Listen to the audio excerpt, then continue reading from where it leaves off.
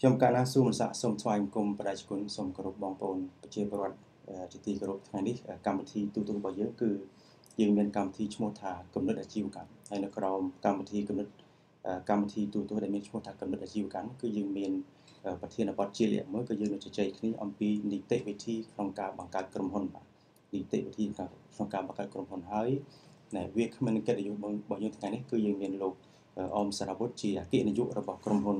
USRV International Business Consultancy បាទសូមជម្រាបសួរលោកអមសារវុធបាទជម្រាបសួរលោកសុខស័ក្តិបាទសុខសប្បាយទេបាទបាទសុខសប្បាយបាទយើងជជែកគ្នាអំពីនីតិវិធីក្នុងការបង្កើតក្រុមហ៊ុននេះប៉ុន្តែដំបូងដែរយើងមិនចូលស៊ីជម្រៅក្នុងការបង្កើតក្រុមហ៊ុនតែម្ដងទេយើងជជែកគ្នាអំពីសេវាកម្មណែរបស់ក្រុមហ៊ុនដែលមានលោកអមសារវុធជាអ៊ំអ៊ំសារវុធជាអគ្គនាយកសិនបាទតើតើក្រុមហ៊ុន USRV International Business Consultancy នេះ មានសេវាកម្មយ៉ាងម៉េចខ្លះហើយចាំយើងជជែកគ្នាដោយសង្ខេបពីនឹងសេវាកម្មរបស់ក្រុមហ៊ុនរបស់លោកអគុណនាយកអគ្គនាយកដែលកំពុងតែមានវត្តមានសិនហើយចាំយើងចូលស៊ីជម្រៅអំពីនីតិវិធីក្នុងការបង្កើតក្រុមហ៊ុនថាតើនៅដំណើរការក្នុងការបង្កើតក្រុមហ៊ុនគឺវាមានដំណើរការយ៉ាងដូចម្តេចខ្លះបាទអញ្ចឹងដែលដំបូងដៃខ្ញុំបាទសូមជំរាបសួរលោកកិត្តិយសម្ដងទៀតហើយក៏សូមសួរលោកកិត្តិយសថាតើនៅក្នុងក្រុមហ៊ុនរបស់លោក USRV International Business Consultancy នេះ គឺមានសេវាកម្មអ្វីខ្លះអាចជម្រាបជូនទស្សនិកជនយើងជាទូទៅសិនបាទសូមអញ្ជើញបាទសូមគោរពទស្សនិកជនដែលកំពុងទស្សនានៅក្នុងការនេះបាទខ្ញុំបាទឈ្មោះអ៊ុំស្រាវុធបាទជាអគ្គនាយកនៃក្រុមហ៊ុន USRV International Business Consultancy បាទបាទក្រុមហ៊ុនរបស់ខ្ញុំបាទបានផ្ដល់សេវាកម្មទៅលើសេវាពិគ្រោះយោបល់ផ្នែកគណនេយ្យផ្នែកហិរញ្ញវត្ថុ ផ្នែកពន្ធដារនិងគ្រោះយោបល់តាក់ទងទៅលើការបង្កើតអាជីវកម្មនិងច្បាប់ទម្លាប់ដែលពាក់ព័ន្ធជាមួយនឹងអាជីវកម្មសម្រាប់ការបង្កើតអាជីវកម្មមួយបាទបាទហើយយើងមានសេវាកម្មដូចជាសេវាប្រកាសពន្ធប្រចាំខែបាទបាទសេវាគណនេយ្យធ្វើបញ្ជីគណនេយ្យបាទ ហើយនឹងសេវាប្រកាសពន្ធប្រចាំឆ្នាំនេះជាសេវាចម្បងរបស់ក្រុមហ៊ុនខ្ញុំបាទបាទរបស់ក្រុមហ៊ុន USRV International Business Consultancy នេះដែលបង្កើតឈ្មោះដែលបង្កើតឈ្មោះក្រុមហ៊ុននេះបើនិយាយសាមញ្ញគឺមួយទៅដូចជាថាលយដែរព្រោះតែឈ្មោះឈ្មោះអង់គ្លេសក៏អញ្ចឹងដាក់ឈ្មោះខ្មែរក៏ដាក់អញ្ចឹងដែរនេះបើសិនខ្ញុំសូមបាទណែសូមការអនុញ្ញាតណែ អនុញ្ញាតឲ្យបកប្រែក្រៅផ្លូវការពីក្រុមហ៊ុនឈ្មោះចុះព្រោះថាអឺនេះឈ្មោះក្រុមហ៊ុនចុះដោយសារតែប្រជាពលរដ្ឋយើងខ្លះក៏គាត់អាចចេះភាសាខ្លះក៏មិនចេះប៉ុន្តែអានេះមិនគិតពីរឿងចេះមិនចេះទេព្រោះឈ្មោះក្រុមហ៊ុនអាស្រ័យទៅលើយើងសម្រេចដាក់ទេមែនតើបាទបាទប៉ុន្តែយ៉ាងហោចណាស់បើសិនជាខ្ញុំសូមការអនុញ្ញាតដែលបកប្រែក្រៅផ្លូវការឈ្មោះក្រុមហ៊ុននេះបន្តិចគឺបានសេចក្តីថាណែក្រុមហ៊ុនពិគ្រោះយោបល់ធុរកិច្ចជាអន្តរជាតិរបស់ណែអន្តរជាតិ USRV អាចអាចមានន័យអញ្ចឹងប៉ុន្តែប៉ុន្តែនេះមិនបកប្រែទេព្រោះជាឈ្មោះក្រុមហ៊ុនដែលចុះបញ្ជីយោបល់គឺហៅហៅអញ្ចឹងបាទបាទ ក្រុមហ៊ុនរបស់លោកគេនាយក USRV International Business Consultancy នេះណាបើគិតពីអាយុកាលដែលបានបង្កើតមកមានដំណើរការប្រហែលឆ្នាំហើយបាទបាទក្រុមហ៊ុនខ្ញុំចាប់ផ្ដើមជោគជ័យនៅក្រសួងពាណិជ្ជកម្មខែកញ្ញា ឆ្នាំ2015បាទយើងចាប់ផ្ដើមពីពេលនោះមកប៉ុន្តែពេលដែលយើងចាប់ផ្ដើមធ្វើការសសក់ស្រាំតែម្ដងគឺនៅក្នុងឆ្នាំ ប្រហែលជាពាក់កណ្ដាលឆ្នាំ2016ដោយសារកាលពីពេលដែលយើងចុះបញ្ជីនឹងមកអឺអឺវាមិនទាន់បានរៀបចំស្រួលបួលដល់អញ្ចឹងទេយើងចាប់ដើមសសក់ស្រាំខ្លាំងនៅពាក់កណ្ដាលឆ្នាំ2016តែម្ដងបាទបាទបាទខ្ញុំបាទសូមអនុញ្ញាតសួរលោកយកបន្ថែមតែបើកណានៃសេវាកម្មរបស់ក្រុមហ៊ុនរបស់លោកដែលដែលធ្វើការទៅលើពី3 4សេវានេះមានជាសេវាហិរញ្ញវត្ថុសេវាបណ្ណៃពន្ធដារសេវាគណនេយ្យទាំងអស់ហ្នឹងខ្ញុំចង់ឲ្យលោកជួយបញ្ជាក់ ដែលជាសង្ខេបសង្ខេបតាមសេវាកម្មមួយមួយនៅពេលណាដែលផ្ដល់សេវាកម្មដល់អតិថិជនហ្នឹងឧបមាថាខាងពន្ធដារជួយយ៉ាងម៉េចជួយអីពីរឿងពន្ធដារដល់អតិថិជនបាទចា៎បាទចំពោះសេវាកម្មតាក់ទងរឿងពន្ធដារដោយសារមុននឹងមុននឹងចូលទៅដល់រឿងពន្ធដារខ្ញុំសូមចាប់ផ្ដើមបន្តិចពីការដែលយើងក្រុមហ៊ុនមួយដែលស្របទៅតាមច្បាប់នៃប្រជាណាចក្រកម្ពុជាដែលយើង បើករកស៊ីដំណើរការទៅវាត្រឹមត្រូវតាមលក្ខណៈផ្លូវច្បាប់អូខេអញ្ចឹងទេក្រុមហ៊ុនគាត់ត្រូវចុះបញ្ជីអឺនៅក្រសួងពាណិជ្ជកម្មហើយនឹងនៅពន្ធដារដើម្បីបានជាក្រុមហ៊ុនមួយសិនបាទបាទអញ្ចឹងពេលដែលចុះបញ្ជីនៅក្រសួងពាណិជ្ជកម្មហើយបន្ទាប់មកយើងទៅចុះបញ្ជីនៅពន្ធដារបាទអឺហើយបើសិនក្រុមហ៊ុនហ្នឹងយើងមើលទៅទៅទៅតាមសកម្មភាពអាជីវកម្មចម្បងរបស់គាត់ទៀតបើសិនជា អឺគាត់អាចពាក់ព័ន្ធនឹងក្រសួងអីផ្សេងទៀតយើងត្រូវទៅស្នើសុំនៅអាជ្ញាប័ណ្ណអឺប្រកបអាជីវកម្មនៃក្រសួងអឺសម័យបាទបាទអញ្ចឹងអឺក្នុងពេលនេះខ្ញុំអឺអឺសូមលើកយកតែរឿងអឺចុះជានៅក្រសួងពាណិជ្ជកម្មនិងពន្ធដារដែលជាតួខ្លួននៃក្រុមហ៊ុនមួយសិនអូខេបាទបាទអញ្ចឹងអឺបន្ទាប់ពីយើងចុះបញ្ជីនៅក្រសួងពាណិជ្ជកម្មមានរយៈពេល15ថ្ងៃបាទអឺអឺក្នុងច្បាប់គឺគេកំណត់ថា15ថ្ងៃបាទអឺអឺក្រុមហ៊ុននឹងត្រូវតែបន្តទៅចុះបញ្ជីនៅពន្ធដារទៀតដើម្បីបានអឺអូបាទវិញ្ញាបនបត្រចុះបញ្ជីអឺបាទពន្ធដារបាទអឺជាមួយនឹងបតង់ដែលយើងនិយាយថាបតង់ហ្នឹងអូគឺបាទបញ្ជាក់ទៅលើថាតើក្រុមហ៊ុនយើងបាទរកស៊ីអីគេអូខេបាទអញ្ចឹងក្រុមហ៊ុនមួយគាត់អាចស្នាក់សុំបតង់មួយជាចម្បងហើយអាអឺអាជីវកម្មបន្តបន្សំគាត់គាត់អាចស្នើសុំបតង់អីផ្សេងផ្សេងៗបានទៀតអញ្ចឹងណាបងបាទបាទបាទអញ្ចឹងបើគាត់ចង់រកស៊ី2មុខ3មុខគាត់ត្រូវស្នើសុំបតង់2ទៅ3ដែរបាទមិនមែនថារកស៊ីមួយបតង់មួយ ក្រុមហ៊ុនហ្នឹងរកស៊ីតែមួយបានទេបាទពេលដែលគាត់ចុះបញ្ជីនៅក្រសួងពាណិជ្ជកម្មនៅក្នុងគេហៅថាលក្ខន្តិកៈក្រុមហ៊ុនហ្នឹងបាទគេមានតសេសកម្មភាពអាជីវកម្មដែលយើងចង់ប្រកបមុខរបរបាទយើងចង់ឧទាហរណ៍យើងយើងជ្រើសរើសអាជីវកម្មយើង10មុខបាទថាប៉ាតង់10អឺមិនមិនចាំបាច់ទេ OK ពេលដែលយើងចុះបញ្ជីនៅក្រសួងពាណិជ្ជកម្មយើងអឺ ដាក់នៅក្នុងលក្ខន្តិកៈថាយើងចង់រកស៊ី10មុខ OK យកបាទប៉ុន្តែពេលដែលយើងមកចុះបញ្ជីនៅពន្ធដារយើងបាទយើងមើលថាតើអាជីវកម្មចម្បងណាមួយដែលយើងចង់ប្រកបមុនគេយើង OK ស្នើសុំប៉ាតង់ហ្នឹងទៅបានហើយ OK យកចាំថ្ងៃណាមួយដែលយើងចង់ថាអេអូខេឧឧទាហរណ៍ថាយើងអឺដូចខ្ញុំខាងសេវាកម្មអឺគណនេយ្យបាទបាទអញ្ចឹងខ្ញុំក៏មានខាងអចលនទ្រព្យបាទខ្ញុំក៏មានខាងអឺដឹកជញ្ជូនបាទបាទអញ្ចឹងពេលដែលថ្ងៃណាមួយយើងរកស៊ីខាងអចលនទ្រព្យអូបាទអាហ្នឹងយើងទៅស្នើសុំបតង់អចលនទ្រព្យមួយទៀតបាទដែលបាទយើងមិន ដែលយើងមាននៅក្នុងអឺបាទអឺអឺអឺក្រសួងពាណិជ្ជកម្មហើយហើបាទយបាទបាទបាទអញ្ចឹងអឺយើងបកមកការដែលយើងអឺមកចុះបញ្ជីនៅពន្ធដារអូខេបាទពេលដែលយើងចុះបញ្ជីនៅពន្ធដារហើយរយៈពេលនៃការចុះបញ្ជីហ្នឹងប្រហែលជាអឺយើងនិយាយថាប្រហែលជាខ្ទង់មួយខែចុះបាទបាទយើងនឹងបានយើងនឹងទទួលបាននៅវិញ្ញាបនបត្រចុះបញ្ជីពន្ធដារបាទយើងនឹងទទួលបាននៅអឺបតាំងបាទអឺ ជាពិសេសយើងនឹងទទួលបាននៃការនៅលិខិតជូនដំណឹងស្ដីពីការចាប់ផ្ដើមប្រកាសពន្ធអូខេទៅអគ្គអឺទៅទៅពន្ធដារតែម្ដងបាទបាទបាទអញ្ចឹងក្រុមហ៊ុនពេលដែលគាត់ចុះបញ្ជីហើយបើសិនជាគាត់ពាក់ព័ន្ធអឺក្រសួងពាក់ព័ន្ធអីផ្សេងទៀតដែលមិនទាន់បានស្នើសុំបាទអឺ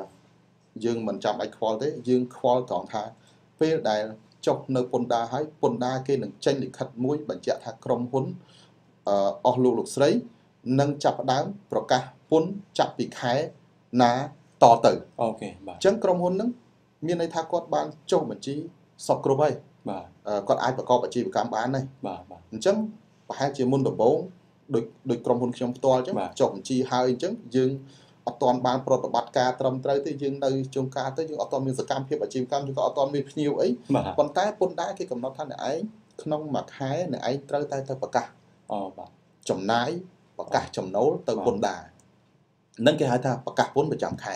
ប្រកាសបាទពន្ធបាទប្រកាសពន្ធប្រចាំខែបាទអញ្ចឹងអឺក្រុមហ៊ុនមួយដែលគាត់តំបើកប្រហែលជាគាត់អត់មានគណនេយ្យគាត់អត់ទាន់មានអឺធនធានមនុស្សទេអញ្ចឹងអឺក្រុមហ៊ុនខ្ញុំអឺផ្ដល់សេវាកម្មបាទគឺអឺចុះបញ្ជីពន្ធអឺចុះបញ្ជីក្រុមហ៊ុនហើយបន្ទាប់មកយើងចាប់ផ្ដើមប្រកាសពន្ធជូនបាទបាទបាទហ្នឹងយើងប្រកាសពន្ធប្រចាំខែអូខេបាទអញ្ចឹងហើយបានថាប្រកាសពន្ធប្រចាំខែយើងថាយើងប្រកាសអីគេខ្លះអូខេអញ្ចឹង អឺអឺអង្គភាពអាជីវកម្មមួយពេលដែលគាត់ចុះបញ្ជីត្រឹមត្រូវតាមផ្លូវច្បាប់ហើយគាត់មានកាតព្វកិច្ចត្រូវតែទៅប្រកាសពន្ធជូនរដ្ឋបាលសារពើពន្ធបាទបាទអឺជារៀងរាល់ខែពីថ្ងៃ1ដល់ថ្ងៃទី20បាទបាទផុតថ្ងៃ20នឹងត្រូវទទួលបានការពិន័យអូបាទបាទអញ្ចឹងអូខេបាទទោះជាក្រុមហ៊ុននឹងមានសកម្មភាពឬក៏អត់មានសកម្មភាពក៏ដោយក៏បាទត្រូវតែទៅប្រកាសដែរគឺបាទយើងប្រកាសចំណាយ ប្រកាសបាទចំណូលបាបើទអត់ចំណូលក៏មិនអីដែរប៉ុន្តែបាទយើងចំណាយយើងដឹងតែមានណាព្រោះបាទធម្មតាអឺអឺក្រុមហ៊ុនមួយតែដែលដែលអឺចុះបញ្ជីហើយច្បាស់ជាមានអឺអឺថ្លៃឈ្នួលអឺទីតាំងបាទថ្លៃទឹកថ្លៃភ្លើងថ្លៃបាទអឺប្រាក់ខែបុគ្គលិកបាទអាហ្នឹងគឺចំណាយយើងត្រូវមានអញ្ចឹងបាទបាទរដ្ឋបាលសារពើពន្ធតម្រូវឲ្យក្រុមហ៊ុនហ្នឹងប្រកាសចំណាយបាទបាទប្រកាសចំណូលអូខេបាទណ៎អញ្ចឹងតាមរយៈការប្រកាសចំណាយនិងប្រកាសចំណូលហ្នឹង បាទបានយើងមើលថាតើចំណាយណាខ្លះវាជាប់ពន្ធអីគេខ្លះOK បាទបាទណ៎ចំណូលណាខ្លះជាប់ពន្ធអីគេខ្លះមានអញ្ចឹងហើយបានយើងក្នុងនាមខ្ញុំជាក្រុមហ៊ុនដែលផ្ដល់សេវាកម្មហ្នឹងបាទដែលយើង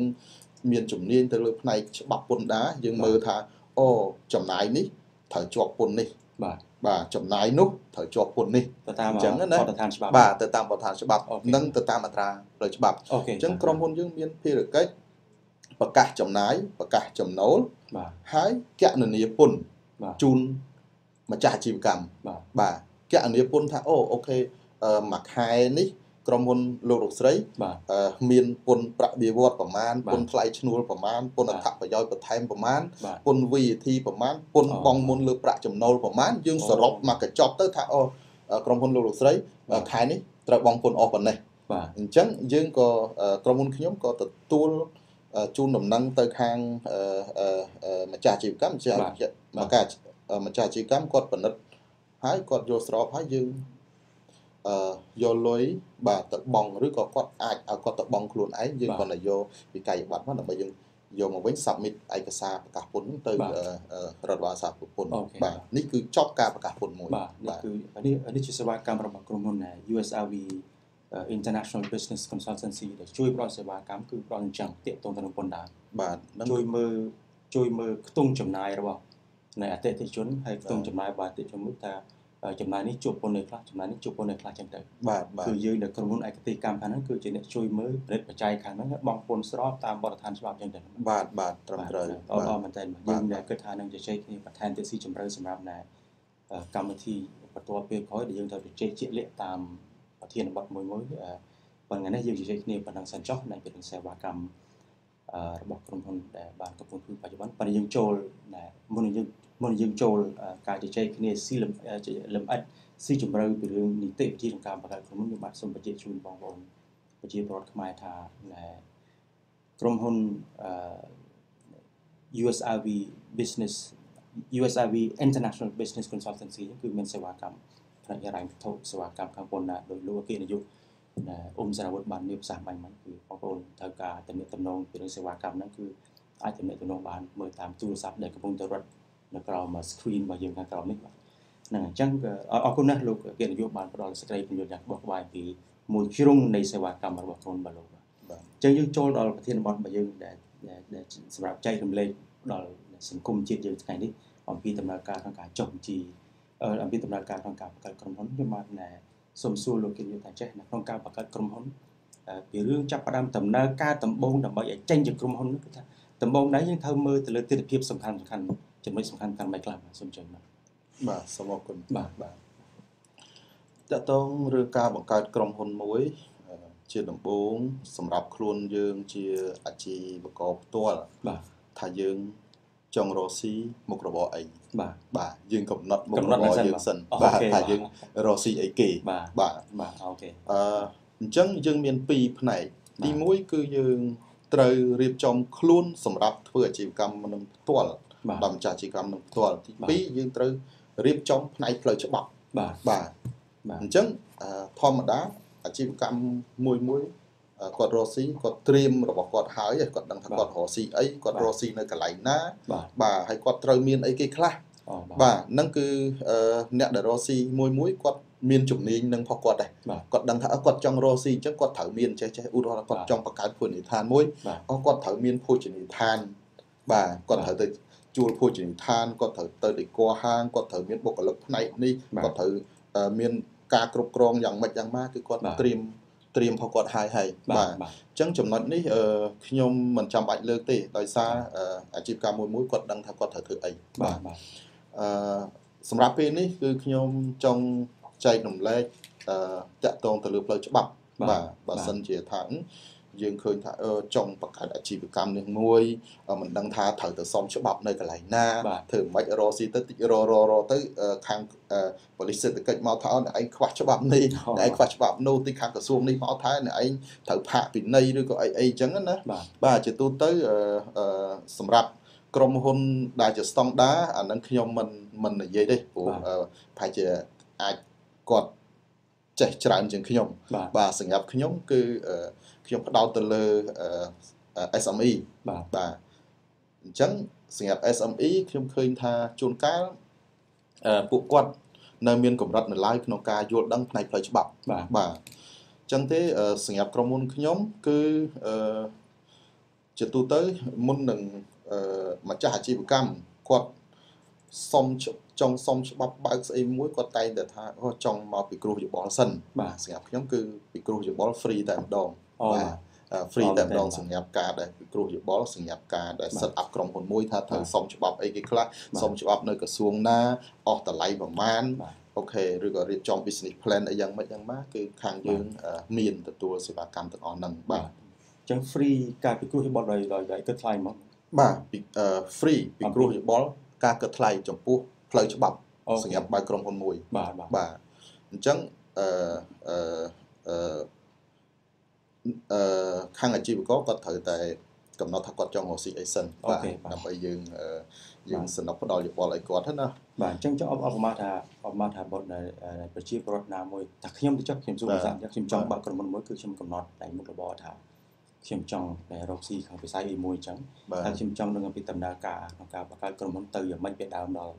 ដល់ចំខ្ញុំអាចទៅពិគ្រោះយោបល់ជាមួយលោកបានបាទបាទគឺការពិគ្រោះយោបល់នេះគឺថា ណាមិនមិនគិតថ្លៃមិនគិតថ្លៃទេបាទចាំចាំខ្ញុំទៅទទួលយោបល់បាទអរគុណស្វាគមន៍បាទហ្នឹងហើយណាមុននឹងយើងជជែកបន្តទៀតខ្ញុំណាដោយសារខ្ញុំចាប់អារម្មណ៍សម្ដីលោកវាគ្មិនលោកអគ្គនាយកណាអ៊ុំសារពុទ្ធាណាកន្លែងនេះខ្ញុំមិនបាច់និយាយច្រើនប្រហែលជាមានទុតិជនគាត់ចេះដឹងហើយបើឡើយចេះយើងចាត់ទុកថាកម្មវិធីរបស់យើងគឺណាយើងមានក្រុមគោលដៅរបស់យើងគឺមានតាំងពីយុវជន បាទបាទតាំងពីណៃធុរជនរួចទៅហើយដែរបាទអញ្ចឹងយើងសំយើងនិយាយសម្ដៅទៅលើយុវជនកម្ពុជានិងធុរជនកម្ពុជាក៏ដូចជាប្រជាពលរដ្ឋកម្ពុជាជាទូទៅដែលគាត់តបចង់ដែលគាត់តបមានការចាប់អារម្មណ៍ចង់រកស៊ីទទួលទានខាងអីក៏បាទអឺណែមានការចាប់អារម្មណ៍គឺគាត់អាចស្ដាប់យើងអញ្ចឹងបាទអញ្ចឹងជាងកន្លែងនេះខ្ញុំសូមលើកទឹកចិត្តថាណែមិនចាំបាច់ថាណែធុរជននេះគាត់ចេះដឹងឯងបាច់ទេគឺយើងបាទនិយាយនិយាយរួមយើងនិយាយពីថ្នាក់បឋមដល់ថ្នាក់ មធ្យមដល់ថ្នាក់វិទ្យាល័យតតអញ្ចឹងហ្មងទៅបាទបាទបាទដើម្បីណែក្រុមយុវជនគាត់ស្ដាប់ត្រូវបាទបើពេលណាបាទកំពុងធុរជនហើយក៏គាត់ចេះដឹងហើយក៏បាទចេះបន្ថែមទៀតអញ្ចឹងទៅបាទបាទហើយបាទមិនមិនចេះអ្វីទេបាទបាទបាទហើយចុះអឺបើកណាយើងគិតគូរពីរឿងការបង្កើតថាតើយើងគួររកទទួលទានខាងវិស័យអីហើយយើងត្រូវមានរៀបចំជាលក្ខណៈរៀបចំអ្វីៗបាញ់មិញនៅក្នុងការចុះបញ្ជីក្រុមហ៊ុននេះក្នុងការបង្កើតក្រុមហ៊ុនហើយយើងដើរទៅចុះបញ្ជីក្រុមហ៊ុនដើម្បីឲ្យមានក្រុមហ៊ុនមួយដែលមានគោលការណ៍ច្បាប់ត្រឹមត្រូវគេហៅថាក្រុមហ៊ុនដែលមានតែ នីតិនគរភាពមានតែមានក្របមានតែការទទួលស្គាល់ដោយច្បាប់ពេញលេញហើយក្នុងការចុះបញ្ជីទទួលស្គាល់ឲ្យស្គាល់ជាក្រុមហ៊ុនមួយ មានស្ថាប័នរដ្ឋាភិបាលណាមួយជាអ្នកទូមទៅខាងហ្នឹងបាទបាទអរគុណបាទបាទដូចខ្ញុំបានជម្រាបជូនត្រួសត្រាសនៅអឺខាងលើដែរបាទតកតងការដែលចុះបញ្ជីក្រុមហ៊ុន បាទតកតងនឹងផ្លូវច្បាប់អឺមិញនេះខ្ញុំបាទខ្ញុំនិយាយថា ពីផ្នែកទី1ផ្នែកម្ចាស់អាជីវកម្មផ្ទាល់បាទទី2ផ្នែកផ្លូវច្បាប់បាទបាទអអញ្ចឹងអឺយើងកំណត់ទៅលើផ្លូវអឺយើងកំណត់ថាយើងរកស៊ីអីហើយអូខេអឺបានយើងអឺគិតថាផ្លូវច្បាប់បាទៅទទៅចុះនៅក្រសួងណាខ្លះបាទស្នើសុំនៅក្រសួងណាខ្លះបាទប៉ុន្តែជាទូទៅជាគោលការណ៍បាទជាគោលការណ៍អឺនៅសពថ្ងៃនេះនៅស្រុកយើង គឺមានពីរប្រភេទទៀតបាទពីរប្រភេទត្រង់ថាអឺក្រុមហ៊ុន ធម្មតាបាទជាទូទៅក្រុមហ៊ុនធម្មតាបាទគឺអឺយើងចុះវានៅខាងក្រសួងពាណិជ្ជកម្មមុនអូខេបាទយើងចុះនៅក្រសួងពាណិជ្ជកម្មមុនបាទបន្ទាប់មកបានយើងទៅចុះនៅអឺពន្ធដារបាទបាទអាហ្នឹងគឺបង្កើតបានជាក្រុមហ៊ុនមួយឯងអាគឺរឿងបាទពីរសំខាន់ណាស់ពីរបាទពីរគឺពីរពីរដំណាក់ហ្នឹងគឺសំខាន់បាទដូចតួខ្លួនមនុស្សយើងអូអញ្ខេចឹងបាទបាទគឺឲ្យបានជា ការទទួលស្គាល់ជាតួខ្លួនមនុស្សជាក្រុមហ៊ុនហើយបាទពីក្រសួងពាណិជ្ជកម្មបាទយើងទៅកាន់ឯកសារទៅអគ្គនាយកដ្ឋានពន្ធដារទៀតបាទបាទបាទប៉ុន្តែខ្ញុំសូមចែកម្លែកបន្តិចដោយសារអឺគោលការណ៍បរដ្ឋាភិបាលលើកទឹកចិត្តចំពោះអ្នកវិនិយោគិនធំធំបាទអញ្ចឹងទេយើងខាងរដ្ឋាភិបាលបានបង្កើតក្រុមប្រឹក្សា អឺអភិវឌ្ឍកម្ពុជាមួយ ដែលមានទីតាំងនៅជិតវត្តភ្នំហ្នឹងបាទគឺអូគេហៅគាត់ CDC បាទបាទអូខេគឺអូខេយើងហៅកាត់ថាគឺ CDC ត្រូវហើយបាទបាទ CDC ហ្នឹងគឺសំសម្រាប់អឺអឺត្រួតពិនិត្យមើលការវិនិយោគធំធំដែលអឺមានលក្ខណៈសម្បត្តិគ្រប់គ្រាន់ដែលយើងហៅថាជាក្រុមហ៊ុន QIP ហ្នឹងបាទបាទគឺមានលក្ខណៈសម្បត្តិគ្រប់គ្រាន់អឺយើងអឺស្នើសុំទៅខាង CDC វិញបាចឹទងបាទលុះត្រាតែ CDC ហ្នឹងគាត់ approve ហើយ បើយើងអូក៏អនុម័តហើយបាទបាទ approve ថាឥឡូវអឺអឺការបង្កើតជារោងចក្រមួយឬក៏បាទការវិនិយោគទៅលើអឺវិស័យទេសចរណ៍នឹងមួយបាទ ត្រូវបានអឺ CDC ពិនិត្យមើលទៅបាទឃើញថាមានលក្ខណៈសម្បត្តិគ្រប់គ្រាន់បាក៏ទ CDC គេចេញអឺ license មកថាបាទអចេញនុចេញញ្ញាតញ៉ាំបានឲ្យមួយបាទអូខេឲ្យរស់ស៊ីអឺបាទទៅលើវិស័យហ្នឹងលើវិស័យហ្នឹងអូបាទហើយបានយើងមកចុះបញ្ជីនៅខាងក្រសួងអឺពាណិជ្ជកម្មបាទបាទហើយបានយើងទៅពន្ធដារអូហើយបានបាទយើងទៅខាងឧស្សាហកម្មទៅខាងបរិស្ថានអីចឹងតាមទៀតវិស័យជាក់ស្ដែងបាទតាមវិស័យអូជាក់ស្ដែងអញ្ចឹងអាហ្នឹងគឺសអូសម្រាប់ការវិនិយោគធំធំបាទបាទបាទបាទអញ្ចឹងអឺ ងាកមកការចុះបញ្ជីក្រុមហ៊ុនធម្មតាវិញបាទដោយសារជាទូទៅយើងជាបាទចុះបញ្ជីក្រុមហ៊ុនធម្មតាជាពិសេស SME នឹងតែម្ដងក្រុមហ៊ុនបាទនៅក្នុងស្រុកយើងនឹងតែម្ដងបាទបាទអញ្ចឹងអឺយើងត្រូវមានទីតាំងច្បាស់លាស់បាទថាយើងប្រកបអាជីវកម្មនៅទីតាំងកន្លែងណាបាទបាទសំខាន់ណាស់គឺទីតាំងហើយទីតាំងនេះគឺជាទីតាំងដែលស្របច្បាប់តែម្ដងអូខេគឺជាទីតាំងដែលដែលអាអ្វីដែលខ្ញុំនិយាយថាស្របច្បាប់គឺមានបានកម្មសិទ្ធិត្រឹមត្រូវ បាទបងពុនអចលនៈទ្រព្យត្រឹមត្រូវបាទបាទបាទអាហ្នឹងទីតាំងហ្នឹងมันអាចចុះបញ្ជីបើកជាក្រុមហ៊ុនបានបើសិនអូបាទជាអឺទីតាំងហ្នឹងអត់មានប្លង់អត់មានអីទេហើយហើយអត់មានបងពុនអីទេហើយមិនអូសមស្របនឹងអាជីវកម្មហ្នឹងទេគឺអឺយើងនឹងមានបញ្ហាពេលដែលទៅចុះបញ្ជីនៅពន្ធដារអូបាទបាទអញ្ចឹងអូពេលខ្លះអឺមកពេលដែលយើងត្រូវទៅជួលនៅទីតាំងណាមួយ គឺយើងត្រូវពិនិត្យមើលសួរម្ចាស់ទីតាំងហ្នឹងថាបាទតើគាត់មាន អឺអឺបានកម្មសិទ្ធិត្រឹមត្រូវឬនៅបាទអឺគាត់មានពន្ធអចលនទ្រព្យឬនៅគាត់បាទមានបានរាល់ឆ្នាំគាត់មានបានបងពន្ធអចលនទ្រព្យទេអបាទញ្ចឹងណានេះជាបាទតម្រូវការផ្នែកខាងពន្ធដារអូខេតែចំពោះខាងពាណិជ្ជកម្មអឺអត់អីទេអឺគឺត្រូវការតែអឺអឺកិច្ចសន្យាជួលអញ្ចឹងអឺចំពោះក្រុមហ៊ុនយើងត្រូវរៀបចំថាយើងរកស៊ីផ្នែកអីយើងមានហ៊ុនប្រមាណអ្នកយើងបាទរៀបចំជាលក្ខន្តិកៈរបស់ក្រុមហ៊ុនមួយបាទបាទលក្ខន្តិកៈ របស់ក្រុមហ៊ុនហ្នឹងគឺនៅក្នុងហ្នឹងគឺមានចែងថាយើងបង្កើតក្រុមហ៊ុនឈ្មោះអីគេបាទអឺឈ្មោះហ្នឹងយើងត្រូវឆែកមើលនៅខាងក្រសួងពាណិជ្ជកម្មសិនថាតើបាទជន់ជាមួយគេអត់បើសិនជាឈ្មោះហ្នឹងជន់ជាមួយគេអូយើងមិនអាចចុះបញ្ជីបានទេពីព្រោះពិនិត្យមើលខាងបាទសួរព្រោះខាងក្រសួងពាណិជ្ជកម្មមុននឹងចុះគេត្រូវឆែកមើលសិនបាទបាទឆែកមើលថាឈ្មោះហ្នឹងមានដូចគេអត់មិនអាចមិនអនុញ្ញាតឲ្យដាក់ឈ្មោះដូចគេបានគេទេលើវិជាន់គ្នាបាទឧទាហរណ៍ដូចខ្ញុំ USRV បាទបាទអឺ International Business Consultancy បាទស្រាប់តែមានក្រុមហ៊ុនលោកប៊ុនស័កថាចង់ដាក់ USRV ដែរបាទប៉ុន្តែអឺ development អីអីណាអញ្ចឹងណាចង់បាទអញ្ចឹងក៏អត់បានដែរអញ្ចឹឲ្យងហ៎ឲ្យតែមាន USRV អញ្ចឹងដូចគ្នាបាទអញ្ចឹងអូខេខាងក្រសួងពាណិជ្ជកម្ម គេត្រូវឆែកមើលឈ្មោះហ្នឹងសិនបាទជន់គ្នាមិនអាចប្រើបានទេព្រោះបាទគេរក្សាសិទ្ធិសម្រាប់អ្នកដែលចុះបញ្ជីមុនទោះបីជាខាងក្បាលដូចគ្នាប៉ុន្តែកតុយខុសគ្នាក៏ក៏បានដែរបាទអត់បានទេសំខាន់ឈ្មោះខាងមុខហ្នឹងតែម្ដងអូខេគឺ USRV ខាងមុខហ្នឹងតែម្ដងបាទអញ្ចឹងណាបាទបាទបន្ទាប់ពីឆែកឈ្មោះហ្នឹងហើយសម្រាប់យើងគឺយើងត្រូវរៀបចំជាលក្ខន្តិកៈក្រុមហ៊ុនបាទអញ្ចឹងលក្ខន្តិកៈក្រុមហ៊ុនគឺទីមួយថាយើងរកស៊ីហ្នឹងដាក់ឈ្មោះក្រុមហ៊ុនអីគេបាទ យើងដាក់ដើមទុនរកស៊ីប្រមាណបាទបាទដើមទុនរកស៊ីនេះក៏ជារឿងមួយសំខាន់ដែរអឺអូបទពិសោធន៍ដែលខ្ញុំធ្លាប់ជួបកន្លងមកគឺអឺអ្នកដែលគាត់ចុះបញ្ជីក្រុមហ៊ុនគាត់មិនបានយល់ច្បាស់ពីពីអឺអឺអឺច្បាប់ពន្ធដារអូខេជួនកាលគាត់ដាក់ចេះតែដាក់តពីតពីទៅបាទដាក់ឲ្យតែបានទៅពេលដែលបាទយើងប្រកាសពន្ធធ្វើបញ្ជីពន្ធដារបាទយើងធ្វើបញ្ជីគណនេយ្យអីទៅតា បើជាខ្វះទុនខ្វះអីនឹងតបាទបាត់ណាបាត់ណីពេញនឹងទាំងអស់បាទអញ្ចឹងការដែលដាក់ដើមទុននេះក៏ជារឿងសំខាន់បាទបាទអញ្ចឹងអឺងាកមកខាងលក្ខន្តិកៈហ្នឹងគឺបាទឈ្មោះក្រុមហ៊ុនបាទបាទបន្ទាប់មកគឺដើមទុនយើងរកស៊ីបាទបន្ទាប់មកអឺយើងមានអឺម្ចាស់ភាគហ៊ុនហ្នឹងប្រហែលអ្នកអូខេបាទបាទអឺហើយក្នុងម្នាក់ម្នាក់ហ្នឹងបាទគាត់មានប្រហែលហ៊ុនអូបាទបាទបាទគាត់មានប្រហែលហ៊ុនបាទ ហើយអឺទីតាំងនៅកន្លែងណាអឺទីតាំងនេះគឺជារឿងសំខាន់ណាស់ចាំបាច់ត្រូវតែអូខេមានទីតាំងបាទបាទហើយតួនាទីអ្នកណាធ្វើអីហើយបែងចែកភាគលៀបយ៉ាងម៉េចយ៉ាងម៉ាគឺយើងចែកនៅក្នុងលក្ខន្តិកៈទាំងអស់បាទអញ្ចឹងក្រុមហ៊ុននេះធ្វើអីក៏ដោយគឺ follow ទៅលើលក្ខន្តិកៈហើយលក្ខន្តិកៈហ្នឹងពេលដែលយើងចុះបញ្ជីនៅខាងក្រសួងពាណិជ្ជកម្មបាទគេនឹងយកលក្ខន្តិកៈហ្នឹងនៅតម្កល់នៅខាងក្រសួងពាណិជ្ជកម្មអូខេបាទបាទអញ្ចឹងក្រុមហ៊ុនគឺធ្វើអីទៅតាមលក្ខន្តិកៈរបស់ក្រុមហ៊ុនត្រូវហើយបាទអឺបាទ អញ្ចឹងខ្ញុំចង់បញ្ជាក់ដែរដែលលោកគៀមយុគបានលើកឡើងថាកន្លែងទីតាំងចុងជីវាត្រូវថាមានបានកម្មសិទ្ធិមានអីទាំងអស់ចង់មានន័យថាទីតាំងចុះបញ្ជីនោះក៏មិនត្រូវមានលក្ខណៈស្របច្បាប់ត្រឹមត្រូវដែរបាទបាទហើយបើសិនជាកន្លែងចោះមកដល់កន្លែងនោះវាមិនមានលក្ខណៈសម្បត្តិគ្រប់គ្រាន់ដូចជាបានកម្មសិទ្ធិដូចជាអីសោះមកថានៅក្បែរសមត្ថភាពនិយាយសម័យថានៅក្បែរលបងវត្តអីនោះទីហ្នឹងបាទគាត់ជាការកត់សម្គាល់ឡើងការចុះបញ្ជីអានោះក៏អត់បានដែរតលតលជាលក្ខអីអញ្ចឹងដែរ និយាយទៅអឺដោយសារអឺអរដ្ឋាភិបាលអឺអឺចង់លើកទឹកចិត្តឲ្យអ្នកដែលរស់ស៊ីពិតប្រកបបាទអឺគាត់អឺរស់ស៊ីបានត្រឹមត្រូវមានតាមលក្ខណៈផ្លូវច្បាប់អញ្ចឹងទេអូខេការដែលចុះបញ្ជីមិនសមស្របបាទមើលទៅឃើញថាវាដូចជាមិនគ្រប់លក្ខណៈអូខេអញ្ចឹងយើងអឺរដ្ឋាភិបាលអាចគិតថាជាការ បង្កើតក្រុមហ៊ុនមួយដែលមិនរស់ស៊ីត្រឹមត្រូវទេអូខេបាទបាទព្រោះធម្មតារស់ស៊ីត្រឹមត្រូវគឺត្រូវមានកន្លែងច្បាស់លាស់ត្រឹមត្រូវទេបាទបាទបាទអញ្ចឹងឧទាហរណ៍ថាឥឡូវគាត់រស់ស៊ីផ្នែកខាងអឺគាត់ធ្វើរោងចក្រ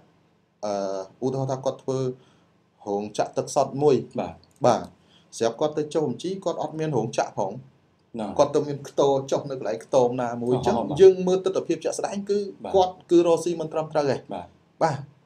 អាចថាគាត់ចុះបញ្ជីបានគាត់ចង់គាត់យកទៅធ្វើផ្លូវឯណាផ្សេងទៀតយើងមិនដឹងទេណាបាទព្រោះបាទក្រុមហ៊ុនមានការធានាដោយច្បាប់អញ្ចឹងបាទការដែលយើងទៅ sign contract ជាមួយអ្នកដតីជាមួយអីគឺគេបាទមើលទៅលើក្រុមហ៊ុនហ្នឹងឯងបាទតែបើសិនជារដ្ឋាភិបាលចេះតែឲ្យគេទៅចុះបញ្ជីទៅពីទៅពីអញ្ចឹងអញ្ចឹងក្រុមហ៊ុនហ្នឹងវាដូចជាបាទអឺឧទាហរណ៍ថាថ្ងៃក្រោយមានបញ្ហានឹងទៅរកនឹងទៅអ្នកណាណាទទួលខុសត្រូវត្រូវហើយបាទអញ្ចឹងបានគេត្រូវការឲ្យមានទីតាំងពិតប្រាកដទីតាំងហើយបាទទីតាំងហ្នឹងត្រូវតែសមស្របនឹងអាជីវកម្មហ្នឹងតែម្ដងអូខេបាទបាទឧទាហរណ៍ថាដូចខ្ញុំអឺ និយាយខាងលើមកអញ្ចឹងបាទអឺធ្វើទឹកសុទ្ធអញ្ចឹងគាត់ត្រូវមានរោងចក្របាត់អាចបាត់អាចរកស៊ីធ្វើទឹកសុទ្ធបានមែនទេបងបាទត្រូវបាទហ្នឹងហើយអញ្ចឹងទេគឺទីតាំងនឹងសំខាន់ណាស់ហើយបាទអឺមន្ត្រីពន្ធនឹងចុះទៅមើលផ្ទាល់ទៅដល់ទីតាំងនឹងតែម្ដងបាទបើសិនជាឃើញថាទីតាំងនឹងមិនសមស្របជាមួយនឹងការដែលចុះបញ្ជីនឹងទេបាទគឺអឺរដ្ឋបាលសារពើពន្ធមិនអនុញ្ញាតឲ្យអឺ ផ្ដល់ឯកសារចុះបញ្ជីនឹងឲ្យបាទខាងបាទម្ចាស់ជីវកម្មទេបាបាទទបាទសូមសូមអរគុណណាស់លោកគេយកខ្ញុំបានសូមបញ្ជាក់កន្លែងទៅដើម្បីដែលជាផលប្រយោជន៍ដល់ប្រជាពលរដ្ឋយើងជាអ្នកស្ដាប់ណែលោកមានប្រសាសន៍ថានៅក្នុងការចុះបញ្ជីនេះវាមានពីរបែបធំធំបាទបើកាលណាក្រុមហ៊ុនហ្នឹងជាលក្ខណៈក្រុមហ៊ុនធំដុំគឺក្រុមហ៊ុនហ្នឹងមិនបាច់ទៅក្រសួងពាណិជ្ជកម្មគឺគាត់ត្រូវទៅណែក្រុមប្រឹក្សាដើម្បីអភិវឌ្ឍកម្មវិធីហៅកាត់ថា CDC ហ្នឹងមិនថាអញ្ចឹងណាអតើឺខាងសុំសុំកែកន្លែងបន្តិចបាទអឺ ក្រសួងពាណិជ្ជកម្មគឺត្រូវទៅទៅមិនថាមិនទៅទេ OK គ្រាន់តែថាជំហានបាទជំហានណាមុនជំហានណាក្រោយ OK បាទបាទបាទអឺដែលខ្ញុំនិយាយខាងលើហ្នឹងបានន័យថាបើក្រុមហ៊ុនធម្មតាគាត់ត្រូវទៅចុះបញ្ជីនៅក្រសួងពាណិជ្ជកម្មសិតែនម្ដងសិនបាទបាទជាលក្ខណៈ SME បាទបាទអឺអឺជាចុះបញ្ជីឲ្យបានទៅជាក្រុមហ៊ុនសិនបាទបាទអឺឆែកឈ្មោះឆែកអីចឹងណាបង OK បាទបាទប៉ុន្តែបើខាង CDC ជួនកាលគាត់ចង់វិនិយោគអីមួយចឹងគាត់ខ្លាចស្នើទៅ CDC CDC អត់មិន approve បាទអញ្ចឹងគាត់ ចុះបញ្ជីនៅក្រសួងពាណិជ្ជកម្មវាខុសអូបាទរកស៊ីអត់កើតអូខេបាទអញ្ចឹងបានន័យថាតម្រូវថាគាត់ត្រូវមកកក់ឈ្មោះនៅក្រសួងពាណិជ្ជកម្មសិនឆែកឈ្មោះសិនថាអូខេឈ្មោះហ្នឹងប្រើបានអត់អូហើយបានគាត់កក់ឈ្មោះបានលិខិតអឺទទួលស្គាល់ការកក់ឈ្មោះពីក្រសួងពាណិជ្ជកម្មនឹងហើយបាទបានគាត់រៀបចំគេហៅថាអឺ business plan បាទ ទៅខាង CDC CDC បាទបាទហើយបាន CDC រៀបចំការប្រជុំបាទអីចឹងទៅបើគេមើលទៅឃើញថាក្រុមហ៊ុននឹងមានលក្ខណៈសម្បត្តិគ្រប់គ្រាន់ក្នុងការសំស្របទៅបាទបាទសមស្របគេនឹងចេញវិញ្ញាបនបត្រឲ្យអូបាទគឺគេហៅមានពីរពីរអឺពីរ license license បាទទីមួយគេហៅថាអឺវិញ្ញាបនបត្រមានលក្ខខណ្ឌបាទបាទបន្ទាប់មកបានក្រោយទៀតបានគេចេញវិញ្ញាបនបត្រជាសាពរបាទអញ្ចឹងពេលដែលបានវិញ្ញាបនបត្រអឺមានលក្ខខណ្ឌពី CDC ហ្នឹងបានបាទយើង យកមកចុះនៅក្រសួងពាណិជ្ជកម្មបាទបាទបាទជៀសវាងការដែលយើងចុះក្រុមក្រុមហ៊ុនហើយអូស្រាប់តែស្នើសុំទៅ CDC គេថាអូអ្នកឯងអត់មានលក្ខណៈសម្បត្តិគ្រប់គ្រាន់ទេអូអខេញ្ចឹងណាបាទអញ្ចឹងអញ្ចឹងអញ្ចឹងអឺចាំចាំចាំលោកគេយកកាយខ្ញុំណាអញ្ចឹងទីមួយ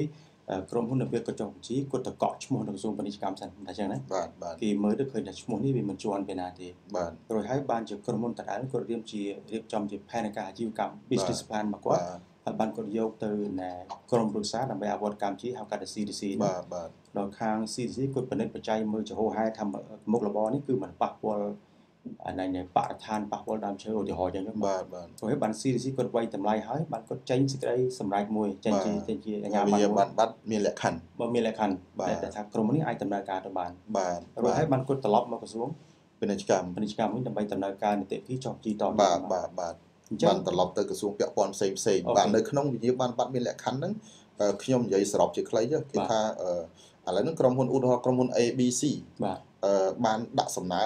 មកវិនិយោគទៅលើវិស័យអីបាទអញ្ចឹងទៅឥឡូវហ្នឹងខាង CDC គាត់ពិនិត្យមើលទៅអឺឃើញថាអឺមានលក្ខណៈសម្បត្តិគ្រប់គ្រាន់ហើយអញ្ចឹងគាត់ចេញវិញ្ញាបនបត្រមានលក្ខខណ្ឌហ្នឹងបាទអញ្ចឹងសូមឲ្យក្រសួងដែលពាក់ព័ន្ធហ្នឹងជួយសម្របសម្រួលក្នុងការដែលចុះបញ្ជីឲ្យក្រុមហ៊ុនបាទ ABC ហ្នឹងបាទបាទបាទ អអញ្ចឹងបានយើងយកទៅខាងពាណិជ្ជកម្មយកទៅពន្ធដារទៅខាងបាទបរិស្ថានទៅខាងឧស្សាហកម្មអីចឹងទៅបាទដែលក្រសួងណាពាក់ព័ន្ធទាំងអស់អញ្ចឹងអញ្ចឹងអញ្ចឹងគ្រប់អឺក្រុមហ៊ុនអាជីវកម្មទាំងអស់គឺចាំបាច់មុននឹងចុះបញ្ជីបាននៅក្រសួងពាណិជ្ជកម្មគឺត្រូវតែទៅឆ្លងកាត់នីតិវិធីបន្តិចនៅខាង CDC នៅខាង CDC អញ្ចឹងទៅបងអឺមិនមែនគ្រប់ទាំងអស់ទេអស់អឺអឺ ខ្ញុំនិយាយមិញមានពីរអាមួយបាទគឺក្រុមហ៊ុនធម្មតាអូខេធម្មតាបាទបាទបាទហើយដែលយើងកំពុងតែនិយាយ CDC នេះគឺជាក្រុមហ៊ុនវិនិយោគធំធំអូខេបាទបាទយើងសំដៅតែទៅលើក្រុមហ៊ុនវិនិយោគធំធំទេគេហៅបាទថាបាទក្រុមហ៊ុន QIP អូបាទ QIP បាទបាទ QIP អញ្ចឹង QIP បើយើង SME ធម្មតាយើងចុះនៅក្រសួងនៃកម្មយើងធម្មតាទេអា I បាទ see អានេះយល់លើកយល់លែងតែក្រុមហ៊ុន CDC ហើយអឺសូមបញ្ជាក់តិចថាហេតុអីបានត្រូវទៅស្នើសុំនៅ CDC បាទអឺ វាតាក់ទងរឿងពន្ធបន្តិចបាទបាទអញ្ចឹងអឺខ្ញុំសូមចែករំលែកកន្លែងពន្ធនឹងបន្តិចបាទបាទបាទអឺជាក្រុមជាទូទៅក្រុមហ៊ុនធម្មតាបាទដែលចុះបញ្ជីនៅក្រសួងពាណិជ្ជកម្មធម្មតាបាទអឺគោលដៅផុសរដ្ឋបាលសារពពន្ធគឺបាទដើម្បីអឺអឺទទួលបានពន្ធប្រាក់ចំណេញ20%បាទនៅពេលចុងឆ្នាំបាទគ្រប់ក្រុមហ៊ុនទាំងអស់ក្រៅតែពីប្រកាសពន្ធប្រចាំខែបាទ យើងនឹងមានការប្រកាសពន្ធប្រចាំឆ្នាំបាទការប្រកាសពន្ធប្រចាំឆ្នាំនេះគឺយើងរិះធ្វើជា financial report បាទបាទជាធ្វើតារាងទៅចំណេញខាតតារាងលទ្ធផលយើងហៅបាទថាលទ្ធផលហើយតារាង balance sheet បាទបាទបាទអឺដើម្បីបង្ហាញទៅពន្ធដារថាក្រុមហ៊ុនខ្ញុំរកស៊ីចំណេញបានប្រមាណប្រមាណបាទអញ្ចឹងពន្ធពន្ធដារគេនឹងយក20%ទៅលើអឺប្រាក់ចំណេញចំពោះក្រុមហ៊ុនដែលអឺទទួលអឺអឺ ទទួលខុសត្រូវមានកម្រិតបាទបាទបើបើក្រុមហ៊ុនគេហៅថា sole proprietorship អាហ្នឹងគឺបាទអឺពន្ធប្រាក់ចំណេញតាមបាទអឺដូចជា5% 10%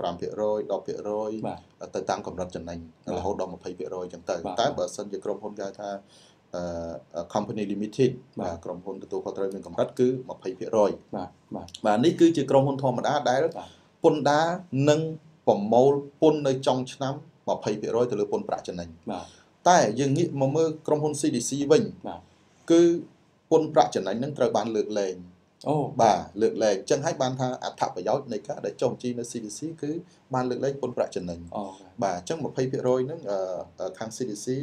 អឺគេអនុញ្ញាតឲ្យរួចពន្ធឧទាហរណ៍ថាដូចជា6ឆ្នាំដូចជា7ឆ្នាំបាទដូចជា8ឆ្នាំទៅតាមបាទអឺទំហំវិនិយោគបាទប្រសារក្រុមហ៊ុននេះមានគុណសម្បត្តិអី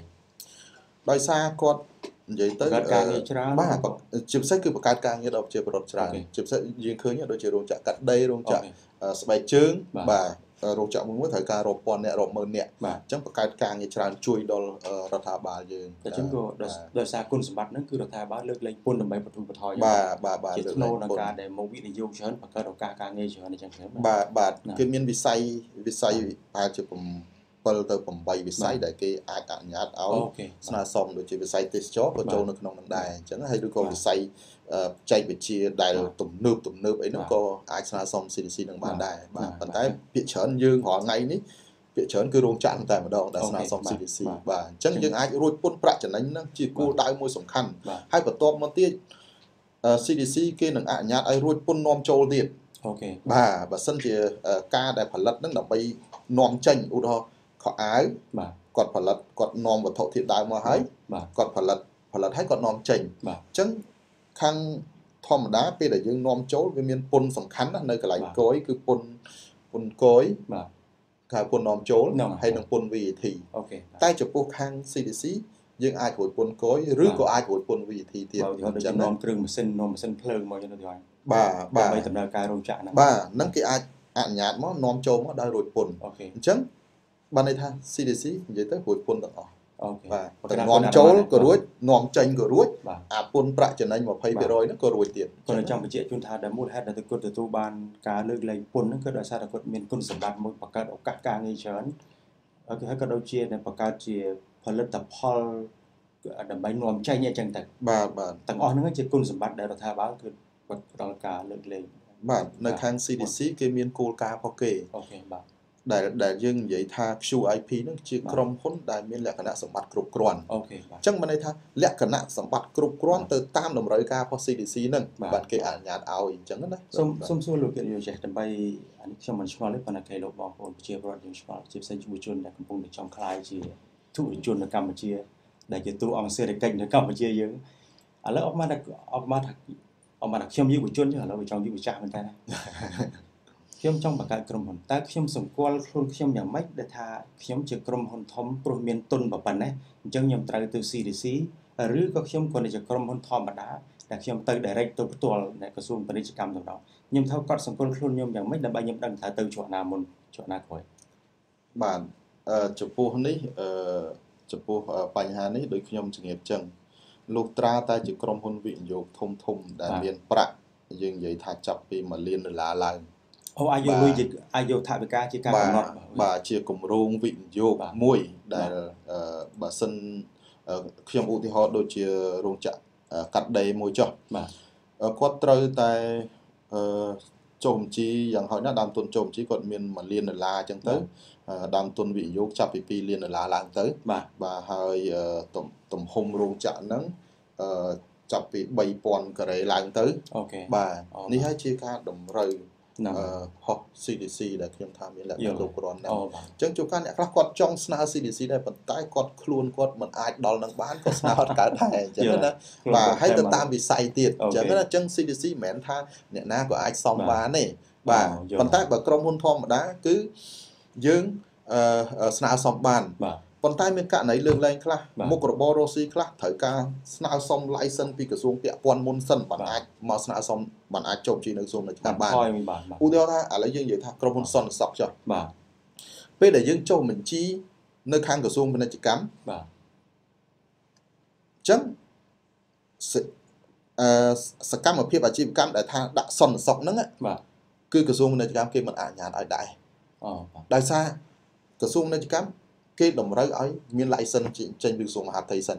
អូទៅដល់មុនសិនបាទអញ្ចឹងអញ្ចឹងយើងយើងធ្វើមិនយើងអាចចុះបញ្ជីក្រុមហ៊ុនមុនបាទហើយបានយើងយកក្រុមហ៊ុនទៅស្នើសុំនៅអឺអឺក្រសួងមហាផ្ទៃបាទអញ្ចឹងបាន license ពីក្រសួងមហាផ្ទៃបានមកក្រសួងពាណិជ្ជកម្មស្នើសុំថែមសកម្មភាពអាជីវកម្មនឹងវិញបានអូខេ បាទបាទអញ្ចឹងអូករណីខ្លះវាជាករណីពិសេសដូចធានារ៉ាប់រងបាទដូចជាធនាគារដូចជាអីអញ្ចឹងអាហ្នឹងបាទគឺសិតតែមានត្រូវការមាន license មុនបាទបាទអូប៉ុន្ប៉ុន្តែជាទូទៅគឺបើយើងរកស៊ីធម្មតាគេហៅអារ៉ននេះអារ៉ននេះនេះអារ៉ននេះធម្មតាបាទអត់អីទេយើងអាចចូលជីនៅក្រសួងពាណិជ្ជកម្មមុនបានអូខេបាទបាទហ្នឹងហើយអញ្ចឹងជាជាគូការនៃចាំហើយមុនយើងបញ្ចប់កម្មវិធីបើយើងក៏បាទសូមធ្វើជាសេចក្តីសរុបបន្តិចចាំលោកគៀនាយកជាវាគ្មិនជំនាញចាំជួយបន្ថែមអញ្ចឹងជាគូការគឺក្នុងការចុះបញ្ជីគឺយើងរៀបចំ យើងកំណត់មុខរបរយើងរៀបចំឯកសារយើងមានទីតាំងស្រួលហើយបានយើងកាន់ឯកសារតម្រង់ទៅក្រសួងណែពាណិជ្ជកម្មពាណិជ្ជកម្មក្រសួងពាណិជ្ជកម្មឡើងនៅឆ្ងាយដល់ពួកយតង់បាទហើយបានទៅចុះបញ្ជីនៅក្រសួងពាណិជ្ជកម្មបានយើងបានអាជ្ញាប័ណ្ណពីក្រសួងពាណិជ្ជកម្មនេះបានយើងទៅចុះបញ្ជីមួយទៀតគឺចាំបាច់មួយទៀតគឺពន្ធដារបាទបាទពន្ធដារគឺវិស័យក៏ត្រូវត្រូវទៅពន្ធដារត្រូវទៅទៅពន្ធដារបាទដោយបានពីបានអាជ្ញាប័ណ្ណពីក្រសួងពាណិជ្ជកម្មហើយបានយើងទៅពន្ធដារបាទបានពន្ធដារហើយយើងត្រូវមើលសុំអាជ្ញាប័ណ្ណតាមវិស័យ ផ្សេងផ្សេងៗទៀតអញ្ចឹងបាទបាទត្រឹឧមទាហរណ៍ថាខាងផ្នែកក្រសួងអឺយើងរកស៊ីខាងផ្នែក resort ផ្នែករមណីយដ្ឋានទៅទៅក្រសួងអឺទេសចរទេសចរបាទបាទហើយយើងរកស៊ីខាងផ្នែកអឺ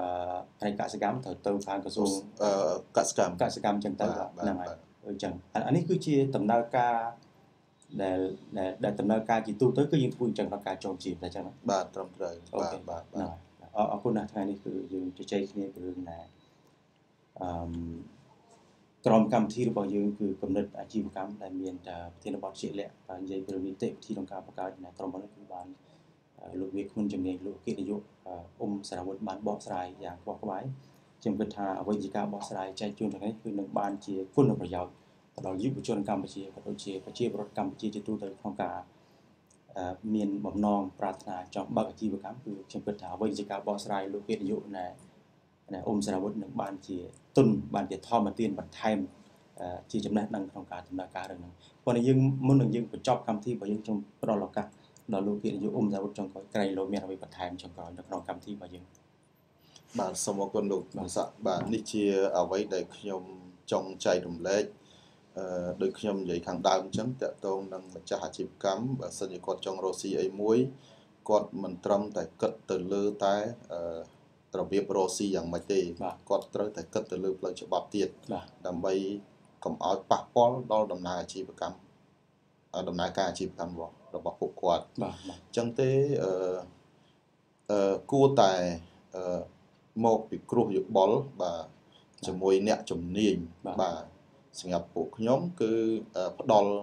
ការពិគ្រោះយោបល់ដែលអត់គិតថ្លៃទៅលើផ្នែកផ្លូវច្បាប់នឹងតែម្ដងបាទអញ្ចឹងយើងថាយើងត្រូវទៅស្នើសុំនៅក្រសួងណាខ្លះយើងត្រូវទៅចុះបញ្ជីនៅកន្លែងណាកន្លែងណីដើម្បីឲ្យយើងរកស៊ីទៅកុំឲ្យថាអូខ្វះនេះខ្វះនោះបាទបាទហើយអ្វីដែលសំខាន់ដែលសំខាន់បំផុតសម្រាប់ម្ចាស់ម្ចាស់អាជីវកម្មដែលគាត់អឺត្រូវគិតมันអាចដំឡងបាន គឺបញ្ហាពន្ធដារនេះតែម្ដងបាទបាទពេលដែលចុះបញ្ជីរកស៊ី ហើយដើម្បីឲ្យត្រឹមត្រូវគឺត្រូវបង់ពន្ធត្រឹមត្រូវទៅតាមច្បាប់បាទបាទនេះជាចំណុចសំខាន់យើងរកស៊ីយើងបានប្រាក់ចំណេញសម្រាប់ខ្លួនយើង សម្រាប់បង្កើតការងារជូនដល់សង្គមជាតិប៉ុន្តែយើងក៏ចូលរួមចំណែកក្នុងការបង់ពន្ធជូនរដ្ឋបាទបាទព្រោះចំណូលរដ្ឋគ្មានអីក្រៅពីពន្ធនឹងទេក្រៅបាទដើម្បីឲ្យប្រទេសជាតិរីកចម្រើន